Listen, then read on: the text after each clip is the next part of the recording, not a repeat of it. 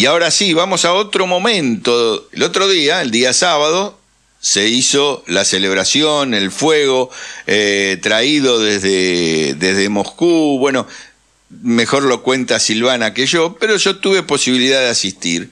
Este, pero esta semana nos sorprende, no nos debería sorprender, pero ellos se ocupan de todo sistemáticamente. El Laufer no solo es contra Cristina y contra el peronismo, ellos sistemáticamente van intentando con mentiras este, desvirtuar cualquier tipo de acción y generar confusión a favor, en este caso, de lo que decíamos el otro día, del neoliberalismo, que también es nazismo. Vamos a escuchar lo que, si te parece, Silvana, lo que puso en pantalla este, TN para que después lo podamos debatir sobre las, el acto del día sábado. Ha sido un día muy agitado desde que Putin llegó al poder. Tiene que ver con la reivindicación de la victoria rusa ante los nazis. Fíjate vos, reapareció Putin en la Plaza Roja Mientras tanto, aquí en Buenos Aires, mm. tensión total. Un Putin que reaparece obviamente rodeado de militares, no de población civil, y diciendo que el mundo, o buena parte del mundo, ha iniciado una guerra contra Rusia, ¿no? Pero fíjate acá lo que pasaba. Bueno, básicamente lo que ha hecho Putin es exhortar a que las personas marchen con las fotografías de los familiares caídos en la Segunda Guerra Mundial, ¿no? Ha habido un grupo de manifestantes, por supuesto, en contra de la agresión a Ucrania que fueron y denuncian haber sido duramente agredidos durante lo que fue básicamente un acto de protesta en contra de lo que luego es un acto de propagación, de propaganda rusa. Y fíjense ustedes lo que pasaba. Un enfrentamiento entre quienes se manifestaban en contra de la guerra, o sea, en contra de esta exaltación patriótica utilizada como propaganda, y quienes los agredían de esta manera. Bueno, ahí está, este es el recorte de, TN, no sé el nombre de la periodista, pero no interesa, pero cuando uno lo escucha atentamente, este, la gran confusión, confusión que generan al, transmitir las escenas que estaban poniendo en pantalla, que era una movilización de la que yo participé. Pero ahora que lo escuché de nuevo, al final dice que se ve el enfrentamiento entre la gente que fue a manifestar, que ahora van a contar ustedes, y los que lo agredían de esta manera. Se, se, se cambia. Por eso. Dice que los que agredían eran los otros que supuestamente iban a hablar en contra de la guerra. Primero hacen se enmaraña sola. Se enmaraña sola, pero esa es una operación típica de los servicios de inteligencia que los medios de comunicación concentrados utilizan yo lo he vivido en el gremio, en conflictos, cuando tomamos la razón, cuando tomamos distintas empresas, este, cómo nos infiltraban servicios en la toma para generar ese tipo de confusión y después cuando uno tenía que contarlo aparecía todo, va, había voceros de ellos que terminaban haciendo, generando esa confusión. Silvana, contá un poco y extendámonos. Yo después también quiero, porque es indignante, es indignante para quien como yo participó, invitado por vos y como parte de, este programa también, porque me interesa, y, de mm. ese relato que hace TN no sirve absolutamente para nada, sino para dañar este, y agredir y generar, este, aumentar la rusofobia. Sí, pero además eh, tiene que ver con que está tan, tan tergiversada la historia de lo que cuentan y tan mezclada que es imposible entender de qué se trata. Solo podés entender que hay agredidos y agresores, que tampoco sabés quiénes son, porque no, te dice quiénes son. Claro. que eh, Putin mandó a decirnos a nosotros que vayamos a hacer una marcha. Bueno, primero, voy a ordenar un poco la cancha en el sentido de, como decís vos, Néstor, de la historia. Nosotros en Argentina tenemos 150 años de historia, la comunidad rusa, dentro de la cual está desde la historia de los zares, como dicen en este programa, hasta el día de hoy, que tenemos una inmigración importante por, por diferentes razones, pero una de ellas también es por la guerra, porque obviamente hay gente que está en contra de la guerra. Eh, así es como se mueven las inmigraciones, digamos, que por, la parte económica o por la parte, de, digamos, bélica. Eh, nosotros, en Argentina, eh, fuimos uno de los pocos países que celebramos el 9 de mayo desde 1946, desde el siguiente año de la guerra, porque acá había mucha inmigración soviética, bueno, en algún momento vamos a contar la historia, y se hicieron estos clubes famosos que estamos visitando casi cada, cada programa. Llamamos a uno de los presidentes para que el otro día del NIPRO, que se fundó en el 52. Desde ese año, todos los 9 de mayo, nosotros festejamos el Día de la Victoria por nuestros antepasados, que fueron 27 millones de personas que murieron en esa guerra. Este, desde el año 2008, yo conté el otro día que se hace lo que se llama el movimiento o del, del regimiento inmortal. El regimiento inmortal son los soldados muertos que marchan con los vivos a través de una foto de ellos, en donde la población sale a la calle con esas fotos a mostrar quiénes fueron los, los antepasados que participaron en esa guerra. Y permitime este que te interrumpa, que en Rusia hasta el mismo Putin, no en la marcha que, ellos muestran, sino en otra, salió con un este, familiar de él, con la foto de un familiar de él, como un ruso más, no como... Como, el papá. Claro, digo... Porque, porque es una manifestación civil. Claro, pero digo, es importante lo que está contando Silvana y ahí hay que incluir a Putin, pero como un ciudadano ruso que no es soviético, ¿no? Porque, a ver, no sé cómo decirlo. la Unión Soviética, pero claro, bueno, pero... Lo que te quiero decir es esto. Dale, dale. Eh, perdón. En Rusia, en Rusia hay dos movimientos. Uno que es el militar, que es la famosa, eh, que es lo que muestran ellos ahí, que es la famosa este mm, desfile militar. ¿cómo se dice? Desfile militar que se hizo Gracias Ana María Yarmolú. Ahí está. Desde el, desde, el, desde 1946 se hizo ese desfile, desfile militar, y ahí hay solo militares, veteranos de guerra y los presidentes sucesivos. Nunca hubo población, la población siempre estaba afuera.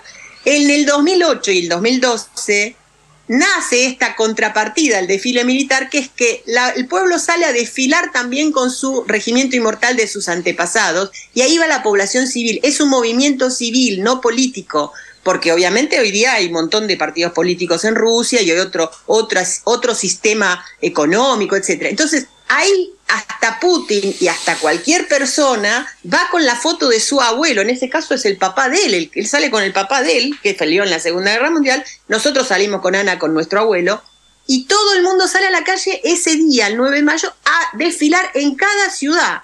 Y esto se extendió al exterior también, donde hay soviéticos, como yo o como otra gente, o. Déjame, déjame que haga un nexo, no, no, no, no, no te pierdas, pero digo, para que la gente lo entienda, es como Desgraciadamente acá no se celebra, sino que se conmemora el 24 de marzo y en las marchas iniciales todo el mundo iba con la foto del, del desaparecido, del familiar desaparecido. Digo, para que la gente entienda este simbolismo, que no es un capricho comunista ni una locura de Putin, son los pueblos. Hay otro, hay otro, hay otro análogo que sería mejor, que sería que las personas que tienen alguna, alguna pérdida en la guerra de las Malvinas salgan con la foto de su familiar perdido en la, en la guerra, hacer em, una conmemoración, un acto de conmemoración por esa persona perdida. Sí, sí, sí, sí, pero digo, para que se acuerden, con los desaparecidos salíamos con la foto. Yo era del gremio de prensa y como no teníamos la foto de todos los compañeros, hacíamos una figura y cada uno de nosotros, de los militantes del gremio de prensa, salía con los 94 compañeros, con los nombres de los 94, con una figura que los rememoraba. Digo, esto es popular. Mm. No, no, no mandó nadie a hacerlo. Lo mismo lo que dice, lo que están contando ustedes. A nosotros tampoco, no, no recibimos un telegrama de Putin diciendo chicos salgan a la calle, pero nosotros no tenemos relación con Putin, ni tenemos ningún apoyo de Putin de nada. Yo salí con mi abuelo, salgo desde el 2014, que en nuestro, en nuestro país no se hace solo en Buenos Aires, sino en ocho ciudades de la República Argentina, en Oberá, en Comodoro Rivadavia, en Bariloche, en Ushuaia, en Rosario, en Mar del Plata, y cada uno lo hace donde puede, pero generalmente lo que hacemos es ir a donde hay un monumento a los caídos en Malvinas, le damos un minuto de silencio a nuestros soldados argentinos y nos vamos. Esa es toda. ¿Qué pasó? En este momento hay un montón de chicos, chicos digo porque son todos jóvenes, vos lo has visto, que han venido a la República Argentina y están protestando en contra de la guerra. yo tengo que pensar después de lo que pasó el sábado que ellos están organizados y obviamente estarán pagados por alguien. Me, quedó claro, digamos, a mí y a todos los que estábamos ahí. Un día antes, nosotros esto lo informamos una semana antes para que todos supieran y invitamos a todo el que quisiera acompañarnos. No era una cosa cerrada. Nosotros convocamos a la marcha del Regimiento Inmortal Buenos Aires. Tenemos nuestras pancartas que están hechas hace ocho años, o sea, eh, que vos las viste. Sí, y nuestras banderas. No vamos con la bandera rusa, cada uno trae la bandera que quiere, pero la que encabeza la marcha es la bandera de la victoria soviética, que es roja y ahí dice el primer batallón que llegó a Berlín. En la bandera está escrito. Bueno, nosotros un día antes sabíamos que estos chicos iban a llegar porque ellos en las redes sociales difundieron que vamos a ir a matar a estos putinistas. Yo tengo la, reclamatoria, no a matarlos, sino a bajarlos, pero es una forma de decirlo. No, por supuesto. Y, el día anterior que hubo, eh, que hubo un concierto en la Casa de Rusia, vinieron con bubucelas y estuvieron tres horas, un pianista eximio que vino desde Brasil a tocar a Rachmaninoff, estuvieron en la calle Rivadavia al 4200 con las bubucelas tres horas gritando. Así que ellos mismos, después al otro día fueron 10, 15 personas a escrachar nuestra movilización. Que quede claro, esto fue una movilización organizada por el Consejo Coordinador de Compatriotas Rusos en Argentina, no por la Embajada Rusa, no por ni... Y de alguna manera, previendo la situación, la embajada ese mismo día sacó un comunicado diciendo que lamentamos muchísimo que no hayan interrumpido en nuestra marcha por chicos que vienen con los cerebros limados, etcétera, etcétera. Quiero aclarar esto y te agradezco un montón en esto porque nuestra comunidad no puede soportar este tipo de mentiras, más siendo parte de la Argentina durante 150 años. Somos una comunidad más, que estamos anulados casi de todo, te voy a decir, porque Buenos Aires celebra, nosotros hace, hace dos años que no participamos, no nos invitan. Y fuimos una de las comunidades que mejor espectáculo dábamos porque venían, de nuestras 26 organizaciones, venían grupos de baile desde Oberá, desde Paraná, desde Comodoro Rivadavia, y no podemos porque estamos como no invitados, y es una cosa tácita, porque nadie te invita. Es muy difícil sostener esto y soportarlo, pero soportar la mentira de esta forma. Yo entiendo que estos chicos han venido y van a formar parte de nuestra sociedad, eh, pero no tienen por qué. Eh, lo más grave de todo esto, ¿sabes qué es? Que esos niños, sus bisabuelos, están muertos por la Segunda Guerra Mundial. La mayoría de, como dijimos siempre, en cada familia rusa, en cada familia ucraniana, Ucrania puso más de 3 millones de muertos en esa guerra. Y estos pibes vinieron y cuando hicimos, quisimos hacer el minuto de silencio en la, tumba del soldado de Malvinas, no nos dejaron hacer el minuto de silencio gritando barrabasadas. Nosotros no hicimos una movilización a favor de Putin, hicimos una movilización que hacemos hace 78 años en diferentes lugares del mundo conmemorando la, el genocidio, si se puede decir, o la muerte del nazismo contra el, la población soviética donde se murieron 27 millones de personas, incluidos los abuelos de estos pibes que están gritando ahora no a la guerra.